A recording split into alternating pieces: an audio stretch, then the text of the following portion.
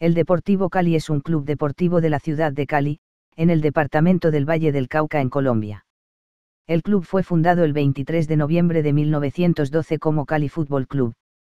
Desde su fundación ha pasado por dos reestructuraciones por cuestiones económicas.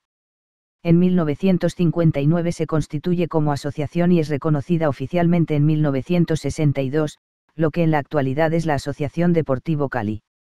En sus inicios como equipo amateur, conquistó ocho títulos departamentales entre los años 1927 y 1936. En su rama de fútbol profesional, ha sido nueve veces campeón de la Liga Colombiana en los años 1965, 1967, 1969, 1970, 1974, 1996, 1998, 2005 y 2015 de la categoría Primera A, siendo de esta forma el cuarto club con más ligas colombianas ganadas.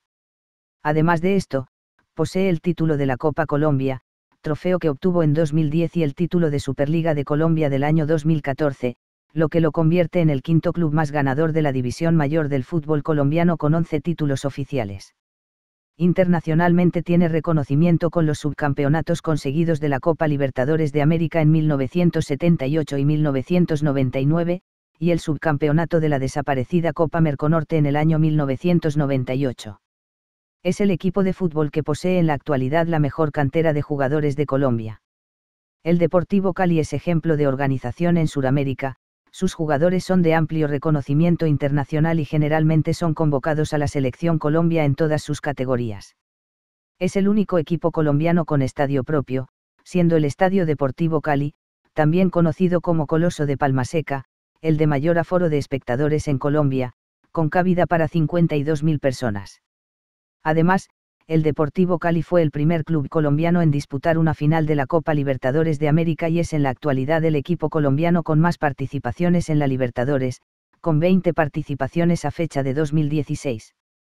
Actualmente se encuentra en el puesto 102 de la clasificación mundial de clubes de la IFS, siendo el cuarto mejor club colombiano en el ranking, por detrás de Atlético Nacional, Independiente Santa Fe y Millonarios.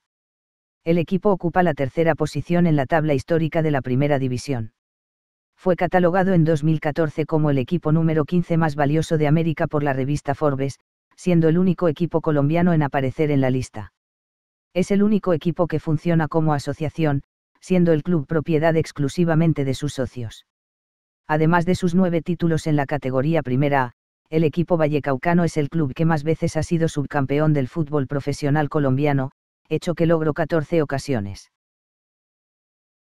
Si te gustó el vídeo, suscríbete al canal de Clubes de Mundo.